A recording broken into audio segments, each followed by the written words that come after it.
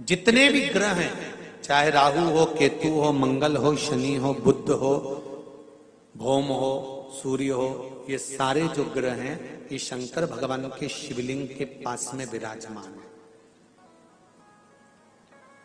शिवलिंग के पास में विराजमान है। कभी मौका मिल जाए, विवाह शादी में देरी हो रही हो, या कोई नया कार्य चालू कर रहे हो, उसमें देरी हो रही हो, या कोई सर्विस के लिए, नौकरी के लिए जा रहे हो और वो कार्य नहीं हो रहा हो तो एक धतूरा। केवल एक धतूरा।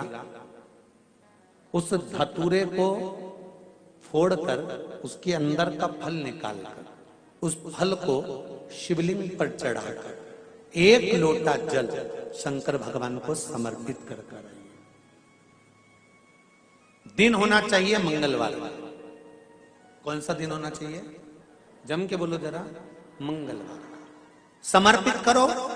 उसके बाद में आप विवाह के लिए अगर समर्पित करे हैं तो विवाह में देरी नहीं होगी। व्यवसाय और व्यापार के लिए या नौकरी के लिए समर्पित करे हैं तो उसमें देरी नहीं होगी। एक पत्र में आया है, सुन लीजिए। बड़ा सुंदर संवाद सहस्त्र धारा अभिषेक, भगवान शंकर का या राम जी का, या कृष्ण भगवान का, या देवी देवता का जो होता है। शिव महापुराण की कथा कहती है, ये सहस्त्र धारा अभिषेक का जो महत्व है, ये माता सती ने भगवान शंकर के लिए किया था। किसने किया था? माता सती।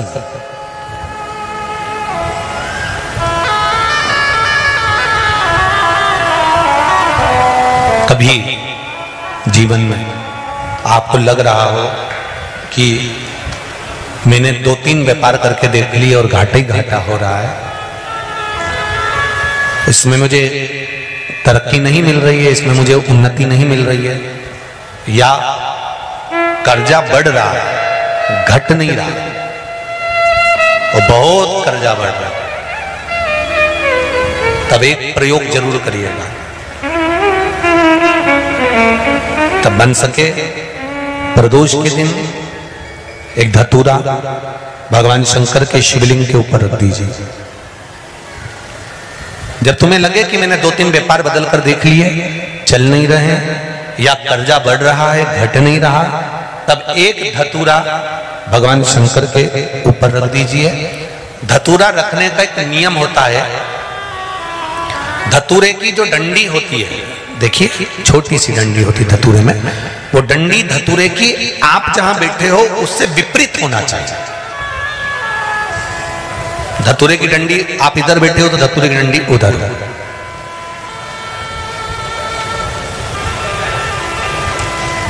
अपने को लग रहा है कि व्यापार मैंने बदल लिया, दो बार, चार बार, छह बार व्यापार बदल के देख लिया और कर्जा बढ़ रहा है, पर व्यापार भी नहीं चल रहा। फैक्ट्री डाली, वो भी चल बंद हो गई। दुकान डाली, वो भी बंद हो गई। कुछ काम करा, वो भी बंद हो गया। जहाँ संबंध के लिए जाते हैं, संबंध नहीं होता है। बेटा बेटी बड़े हो गए, उनका कहीं जम नहीं रहा। बहुत प्रयास करके देख लिया, पर हो नहीं रहा। तो प्रदोष के दिन धतूरे को रखिए, पर डंडी विपरीत दिशा की ओर हो, और एक लोटा जल धीरे धीरे उसी धतूरे के ऊपर आप चढ़ाना प्रारंभ कर दीजिए, जो शिवलिंग के ऊपर रखा हुआ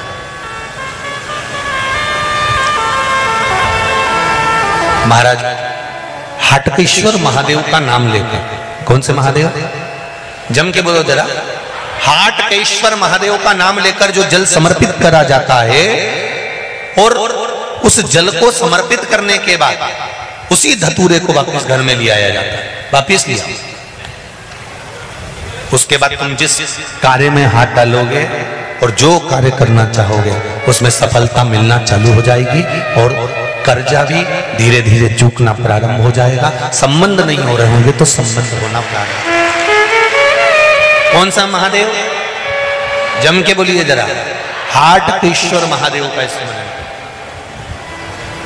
हाट केश्वर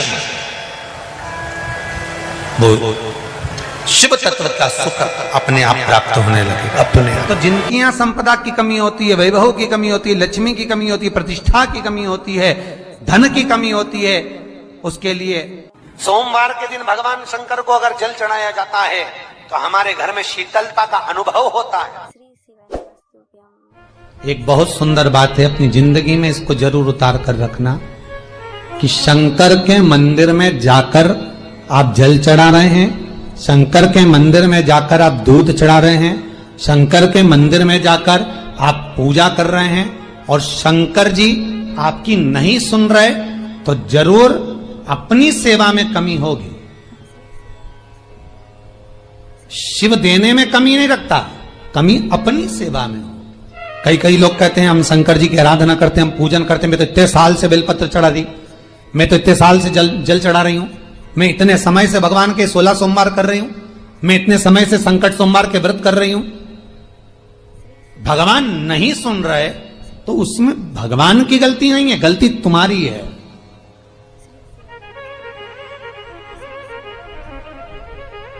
गलती तुम्हारी है। जब दस दिशाओं को भगवान शंकर ने बांटा, और शंकर भगवान ने दस दिशाओं को बांटा तो दस दिशाओं का आधिपत्य बनाया ये, कि कौन सी दिशा में कौन सा देवता इसका आधिपत्य रखेगा। कौन से देवता यहाँ पर निवास करेंगे? किसका आधिपत्य इस दिशा में होगा? पूरब, पश्चिम, उत्तर, दक्षिण, ये चारों दिशा सामने आकर खड़ी हो गई भगवान शंकर के सामने। भगवान शिव के सामने खड़ी चारों दिशा। धीरे धीरे करते, ईशान वायव्य ये भी आकर खड़ी हो गई। दसों दिशा शिव जी के सामने थी। दसों दिशा। दसों दिशा। सारी की सारी दिशाएँ सामने आकर जब खड़ी हुई, केवल एक दिशा ऐसी थी, दक्षिण, जो भगवान शंकर का स्मरण कर रही थी। भगवान शंकर के स्वरूप का अनुमोदन कर रही थी। केवल दक्षिण दिशा।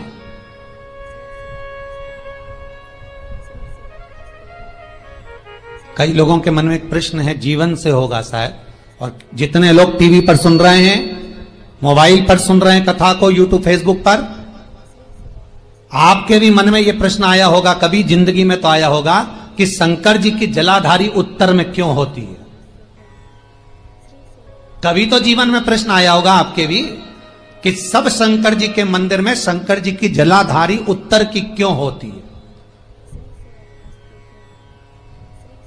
किस लिए रहती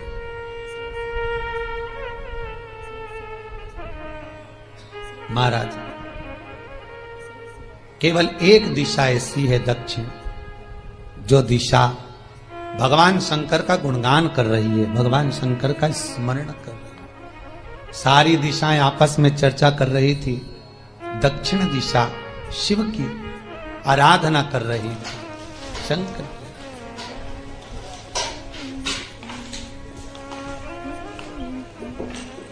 वहीं पर उत्तर जो दिशा थी, वो खड़ी होकर दक्षिण दिशा की ओर हंसने लगी।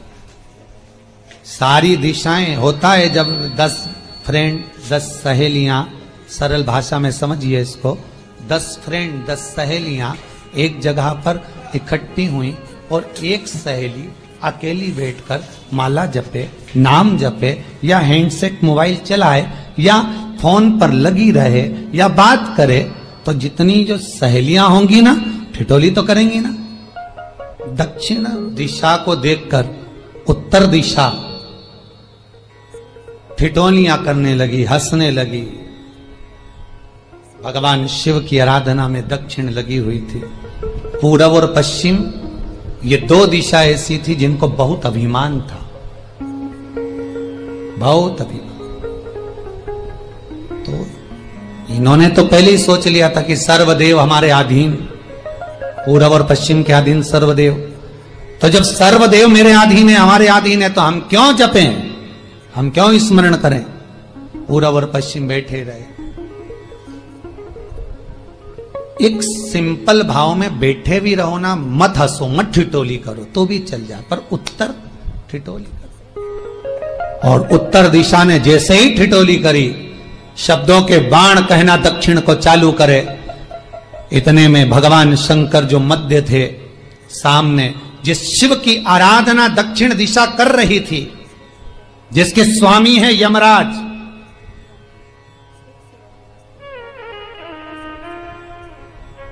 जब वो करी, दक्षिण दिशा ने एक बार हाथ जोड़कर कहा, उत्तर,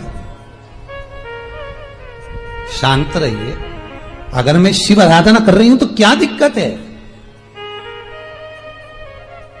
उत्तर ने फिर कोई शब्द कहा, इतने में जिस शंकर की आराधना दक्षिण दिशा कर रही थी, शिव को क्रोध आ गया और किसी की तप साधना में, भजन में, कीर्तन में अगर आप अड़चन उत्पन्न करते हो तो जो जब तप कर रहा है, उसको कष्ट नहीं होगा। जिसका भजन कर रहा जा रहा है, जिसका नाम जपा जा रहा है, कष्ट उसको होगा। दक्षिण ने तो केवल एक बार मना कर दिया कि मत बोल, मत कर, पर उत्तर नहीं मानी। तब दक्षिण उसी समय पर मौन हो गई, आराधना में डूब गई। शंकर भगवान जैसे ही एक लिंग रूप में प्रकट हुए, भगवान का तेजपुंज इतना प्रबल था कि सामने उत्तर दिशा घातित होने लगी। चल लगी क्षमा मांगी उसने दक्षिण दिशा से, कृपा करो। तब दक्षिण ने जल का पात्र लेकर शंकर के शिवलिंग पर चढ़ाया। वो जल उत्तर की ओर गया। तब उत्तरा की ज्वलन ताप समाप्त हुआ। माता, दक्षिण दिशा ने वर मांग लिया शंकर जी से। भोलेनाथ, आपने मेरी आज कामना पूर्ण करी, मेरी सखी को बचा दिया। कृपा करिए। शंकर भगवान ने कहा, सुनो दक्षिण दिशा। तुम्हारा पति यमराज तुम्हारे साथ में रहता है, तुम दक्षिण दिशा की मालकिन हो और यमराज तुम्हारे स्वामी है। पूरब पश्चिम, उत्तर, ये तीन दिशा में जो शंकर की आराधना करेगा, शंकर कभी उसकी कामना पूर्ण नहीं करेगा, जो दक्षिण दिशा में बैठकर शिव का जलाधारी उत्तर की हो और दक्षिण दिशा में बैठकर यदि एक लोटा पानी भी चढ़ा देगा, शंकर उसकी कामना पूर्ण कर देगा। अब दिक्कत यहाँ अड़ी पड़ी एक है कि शंकर जी के मंदिर में भी पंडित जी पूजन कराने बैठते तो पूरब का मुँह करो, पश्चिम का मुँह करो, पर दक्षिण में नहीं करने, दक्षिण में बैठने नहीं दे। पर शिव महापुराण कहती है, गर्ग संहिता, लिंग पुराण, स्कंद पुराण कहती है कि शंकर की आराधना आप तीन दिशा में कहीं पर भी बैठकर करोगे, शिव स्वीकार नहीं करता। पर दक्षिण की ओर बैठकर एक लोटा पानी भी चढ़ाया है, शंकर स्वीकार कर लेता। शंकर उसको पा लेता। अब दिक्कत यह है कि कई लोग कहते हम तो पूजन करते, भगवान नहीं सुनता तो दिशा देख ले पहले कौन सी बैठी थी।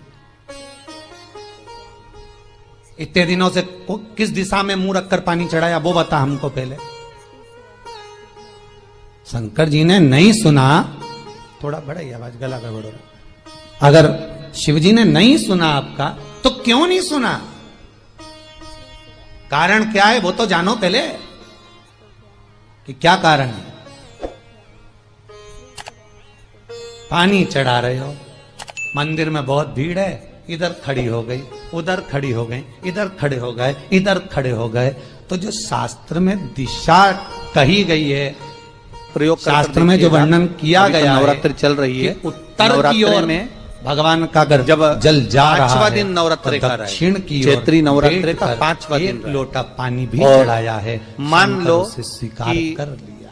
आपके घर में किसी बच्चे की लड़के की या लड़की का या मंगल विवाह नहीं हो रहा हो या शादी नहीं हो रही हो या उस लड़के लड़की के लिए बहुत प्रयास कर लिया आपने और उसकी शादी हो ही नहीं रही। अथक प्रयास आपने कर लिया। और उसका मंगल विवाह नहीं हो रहा। तो ये देवी भागवत में स्पष्ट कहा गया देवी भागवत में वर्णन किया गया एक वर तो मांग ही लिया है। देवी भागवत में वर्णित किया गया सबके लिए मांगा है। कोई अकेले के लिए नहीं मांगा था और देवी भागवत में कहा गया कि आम का जो पत्ते होते हैं। मांगा किसी एक के लिए नहीं। आम का जो पत्ता होता है आम का जो पल्लव होता है उस आम के पत्ते पर हल्दी और सिंदूर और दक्षिण दिशा ने फिर आराधना प्रारंभ इन दोनों से स्वस्तिक का निर्माण किया जाए देवी भागवत का संवाद है। बहुत ध्यान देना भगवत जिन कन्याओं का ग्रहण विवाह ना हो पंचमी के दिन नवरात्रे की कोई सी भी पंचमी मतलब जो पंचमी तिथि जो पड़ेगी कोई भी नवरात्र चाहे वो चार नवरात्र में से चाहे वो पौष का हो अश्विन का हो चैत्र का हो आषाढ़ का हो किसी भी नवरात्र में आप कर सकते हैं। एक फिर मांगा।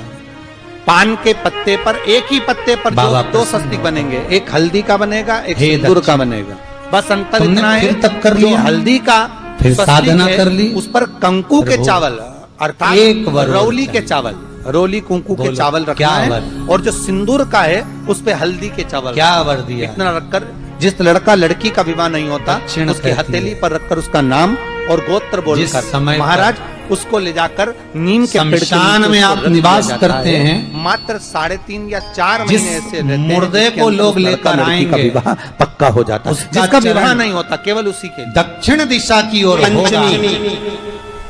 शमशान में प्रवेश करने से पहले पंचमी। मुर्दा चाहे वो शुक्ल पक्ष हो चाहे वो उसकी कृष्ण। क्रिया। शिव महापुराण की कथा कहती है। जब आपको तक मुर्दे की। कपाल क्रिया कार्य नहीं से तब तक उसको ज़िंदगी में कभी संपदा कम नहीं हो सकती। संपदा बढ़ती चली जाती। तो निवेदन है शमशान में प्रवेश के पाँच कदम पहले से जो भी मुर्दे को लेकर शमशान में आए जितने लोग शमशान में प्रवेश करें मुर्दे के साथ में कि जिसके घर में संपदा सभी की को कमी हो। काशी की परिक्रमा का फल उलझ गया। देखिए महाराज ये दुनिया में कोई नहीं मांग सकता जो दक्षिण दिशा के में दिन गन्ने का रस वो तो ना भविष्य ईद का रस गन्ने का रस तुलसी जी के क्यारे में हाथ में लेकर दक्षिण दिशा भगवान से मांग रही है, वो कोई नहीं मांग सकता। ज़िंदगी में तीन साल में तो करोड़पति बनकर बैठ जाओगे। कभी लक्ष्मी की कमी नहीं आ सकती तैयारी में बैठे रहोगे कि फिर जितने लोग मुर्दे को लेकर दक्षिण दिशा की ओर अगर मुर्दे के चरण है जम के बोलो मान लो जरा। कोई भूल से सिर कर लिया नाग पंचमी नाग पंचमी का मतलब मुर्दे के पाँव सांपों की पूजन अगर करो दक्षिण दिशा की ओर है मतलब होता है पर जितने लोग लेकर मंदिर में जाकर साथ चल रहे हैं। एक लोटा जल समर्पित कर दो उसका शमशारण किया है कि हमारे परिवार में हमारे कुटुंब में शमशान कुटुंब में परिवार में कोई परिक्रमा सात पीढ़ी के अंतर्गत भी अगर कोई जीव मुर्दे को लेकर आए। तड़प रहा होता है पड़ा हुआ होता है उसकी मुक्ति नहीं होती है पंचमी कथा हुआ जल उस जीव को प्राप्त हो जाता है और वो जीव तर जाता है। काशी काशी पाँच बार कहने पर पुण्यता है दक्षिण दिशा में दुनिया का संपदा के लिए अर्थात लाभ व्यापार नहीं चलता दुनिया का सुख ला कर दिया दुनिया का आनंद नौकरी नहीं लग रही या सर्विस नहीं लग रही आप अप्लाई कर रहे हो, जगह जगह जाकर इंटरव्यू भी दे रहे हो और पैसा नहीं आ तो उसके लिए भी प्रयास किया जाता पर उसके लिए यहाँ पर जो धन के